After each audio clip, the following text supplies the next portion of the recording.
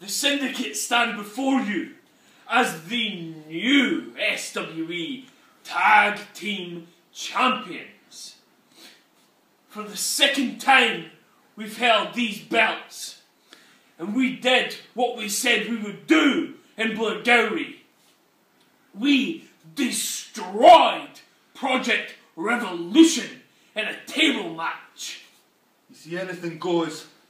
It's just the start the Syndicate's master plan. We're taking over the SWE, one title at a time. You see, because not only anything goes did the Syndicate pick up the tag team titles, I managed to pick up the Heartland title as well, which grants me the shot at any championship that takes my fancy come hell for Lycra. And speaking of hell for Lycra, you can guarantee all the legends you want. Roddy Piper will be there. Chavo Guerrero will be there. Ted DiBiase will be there. And Tatanka, oh, he'll be there too.